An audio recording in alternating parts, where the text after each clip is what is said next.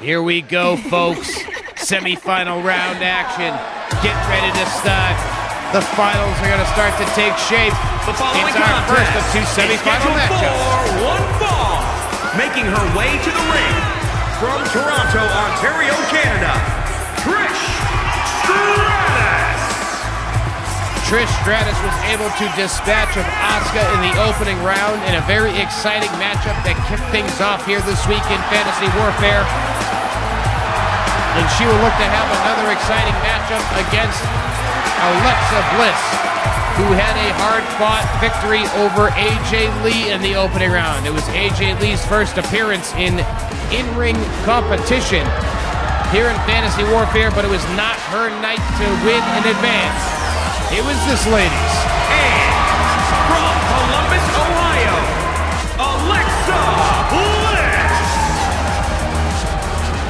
Alexa Bliss looked to be in sure danger in the opening round. But she was able to use her ring sense and veteran skills to counter a attack from AJ Lee. Counter an attack. A attack. What the hell's wrong with you guys? Get it together. Able to counter the attack, drop AJ Lee and hit Twisted Bliss out of absolutely nowhere to advance here to this semi-final matchup.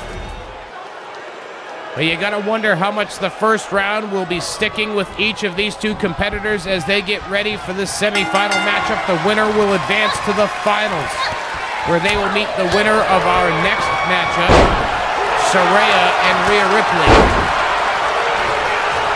We are getting close to crowning our first queen of fantasy warfare, who will join ravishing Rick Rude as royalty here in fantasy warfare.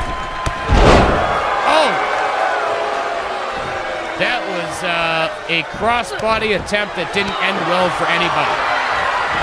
Trish Stratus got clipped with a torso, and Alexa Bliss's face smashed off the canvas.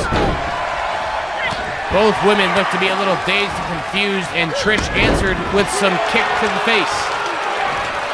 Oh, you're looking a little confused? Here, let me kick your face. Alexa on top of Trish with some fists raining down to the bridge of the nose. Alexa bringing Trish up to a standing base. Nope.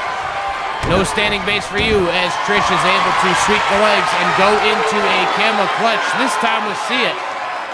Referee not in the way. The last time somebody tried a camel clutch, referee was in my damn way. Couldn't see a damn thing because of that referee last time. Trish hits with a drop kick to the back of Alexa Bliss. And now heading up to the top rope. What's she gonna go for? She not known for the top rope. Oh, nice elbow drop by Trish Stratus. Ooh. Driving the sole of her boot into the forehead of Alexa, stomping on the elbow. It's the Arm Bendy Stomp Stomp Cracky Crack favorite here of WWE 2K22 Fantasy Warfare. If we kept track of moves performed, I guarantee that one ranks in at number one. Uh-oh. Stratusfaction hit. Stratusfaction on Alexa. This could be all for her hopes of being queen of fantasy warfare. It is.